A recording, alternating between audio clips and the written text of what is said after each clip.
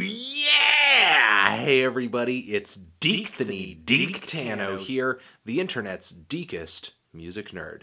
And it's time for a review of the new Deakin album, Sleep Cycle. Deakin, multi-instrumentalist, producer, singer-songwriter, apparently, on-again, off-again member of the fantastic and internationally known psychedelic pop outfit Animal Collective. And he is coming through with a long-awaited solo debut album sleep cycle. Whoa! I've had my reservations in the past with Animal Collective albums. Well, not specifically Animal Collective albums, the group albums are pretty consistent, very enjoyable, though I didn't really enjoy the last one. It's just their solo efforts. The solo efforts. They usually end up being a major disappointment for me. It's like I'm listening to a piece, but not the full puzzle. That's true in the case of Panda Bear and Avey Tare, and I'm wondering if that's gonna be the case too in the case of Deakin. Now, this thing is six songs and just over 30 minutes long, so even if it is lackluster, it's not really gonna overstay its welcome. It's pretty short for a sleep cycle, more like a, an afternoon nap, but there's nothing on this album that makes me want to sleep. There are actually a lot of engaging moments on this album. I don't think Deakin has the unique vocal delivery of an Avey Tare or a Panda Bear, but simultaneously Deakin avoids some of the shortcomings of their solo efforts. It's not as repetitive and awash in pointless minutia and reverb as like a Panda Bear album, and it's not as obnoxious or as grating as an Avey Tare project. But stylistically, Sleep Cycle still shares a lot in common with the Animal Collective discography. There are tons of tracks on here that are very dreamy, psychedelic folk with sound effects and synths and electronics subtly weaved into the mix. The dreamy and softer cuts in the very short track listing here are relaxing, they're pretty, and I actually want to get lost in this very easygoing instrumental. The echo on the acoustic guitar here is a little sharp, but still each piece of instrumentation is well mixed and recorded and balanced, and even though it's all washing and kind of blending together into this sort of psychedelic soundscape, it's very pleasant and it doesn't turn into mush. This is true of the song Golden Chords, the opener of this album, which with this acoustic instrumentation, with these electronics, the track also features what sounds like a field recording of crickets. Just the drone of nature playing in the background. Sort of took me back to Animal Collective's Campfire Songs album. The steady and fingerpick guitar chords are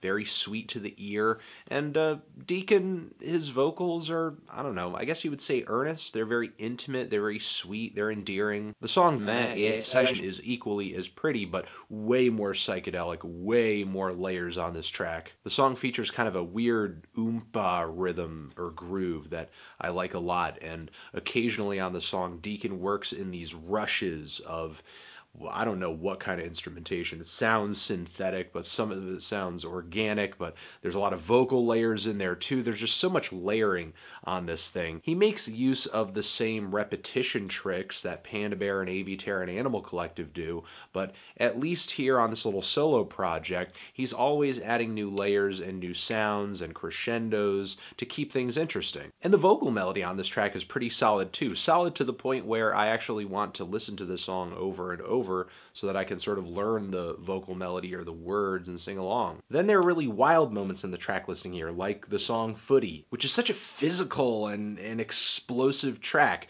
Features these super aggressive and busy drums. The hi-hats are just rattling off like an automatic assault weapon while you have these just pounding toms popping up in the background. And Deakin delivers his most aggressive vocal performance on the entire record. He strains, he yells. At points, it seems a little Avey Tare influence, specifically during those more chaotic Animal Collective records. And the tension in his voice, the intensity in his voice really matches this blaring instrumental.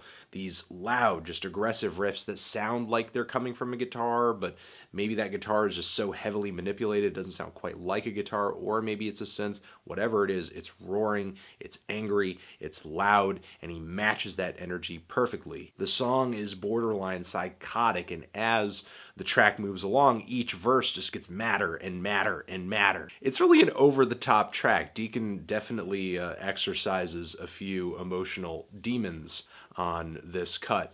And then after the song, we kind of have a calm after this storm. A little interlude cut that's okay, and then the song Good House. This is the first moment on the record where I think Deakin really begins to find his own voice in his music. Instrumentally, we return back to that kind of nocturnal, outside, nature, very serene instrumentation that kicked the whole project off. And these really deep, murky guitar chords sort of lay a foundation for Deakin to sing over. And lyrically, at least how I'm interpreting it, it's like he's telling us about this house, about this place, where his anxieties and his pain and his worries kind of melt away. And the instrumentation builds really nicely with whatever level of emotion Deakin is showcasing in his own voice. I like how dynamic his singing is on this track, and the instrumental too. I mean, almost every instrumental on this project is pretty dynamic. And I also appreciate that even though this project was short, nearly every song segued into the next very fluidly. So it did end up feeling pretty cohesive. There wasn't any one song that stuck out like a sore thumb or was just a really horrible track in the track listing or felt really out of place.